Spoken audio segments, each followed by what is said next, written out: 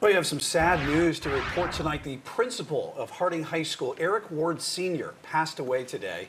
We don't know the circumstances surrounding his death yet, but we'll bring you an update as soon as it comes into the newsroom.